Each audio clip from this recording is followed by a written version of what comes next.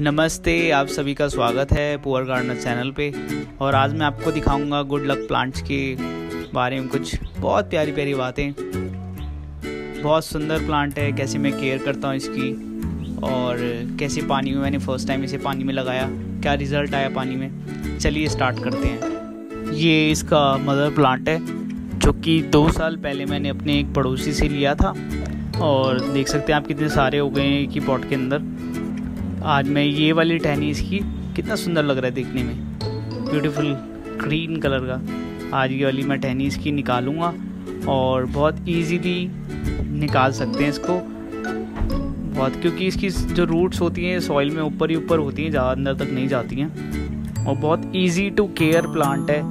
बहुत ज़्यादा इसकी कोई केयर करने की ज़रूरत नहीं होती, बस आप इसको थोड़ा सा जहाँ पर सूरज की रोशनी आती है, वहाँ रख दीजिए। देखिए, ये निकल गया। छोटी छोटी रूट्स इजीली इसको निकाल के लगा सकते हैं। बहुत आसान है लगाना। और इस प्लांट का जो नेम है, इसको एलिफेंट ईयर कहते हैं। और लोग इसे गुडलक प्लांट भी कहते हैं। गुडलक प्लांट की तरह इसे हम घर के अंदर भी रख सकते हैं। ये मैंने पॉटिंग मिक्स बना लिया है यहाँ पे।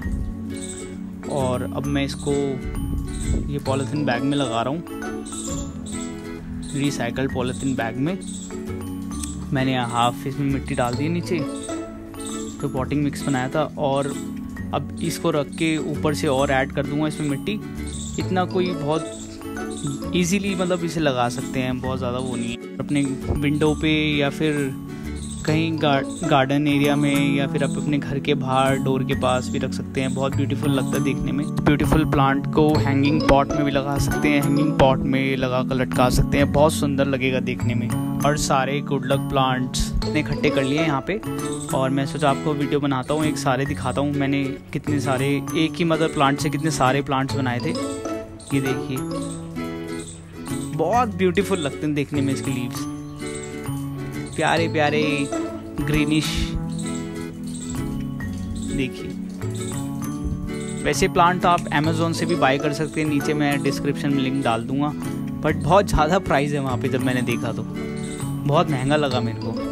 ये देखिए।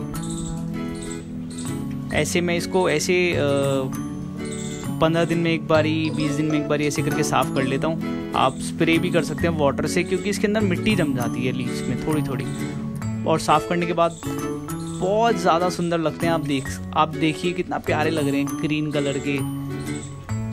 ऐसे लग रहा है इस पर ऑयल लगा रखा है, बहुत सुंदर लग रहा है। चलिए, आपको वाटर से मैंने कैसे फ़र्स्ट टाइम मैंने वाटर से वाटर में इस प्लांट को लगाया और रिज़ल्ट मैं आपके साथ शेयर करता हूँ। देखिए कितनी सारी रूट आ गई इसके अंदर। एक दस दिन के पहले का, एक दस दिन के बाद का है कि मैंने बॉटल ली थी और बॉटल के अंदर ऐसे मैंने रेन वाटर मैंने एक बाल्टी में भर के रख लिया था, फिर उसको बॉटल्स में सेव करके रख लिया। तो अब ये मैं ग्रीन कलर की बॉटल एक दस दिन के पहले की है और एक दस दिन के बाद की। देखिए कितने सारी रूट्स आ गई है। और आप चाहें अगर आप एसी यूज़ करते तो एसी का वाटर भी बहुत ही अच्छा होता है प्लांट्स के लिए। अभी तो वैसे रेनी सीज़न चल रहा है, पानी डालने की ज़रूरत नहीं होती है प्लांट्स में। अगर आपको मेरी वीडियो अच्छी लगी तो प्लीज़ लाइक करें सब्सक्राइब करें और मुझे सपोर्ट करें। Thank you so much for watching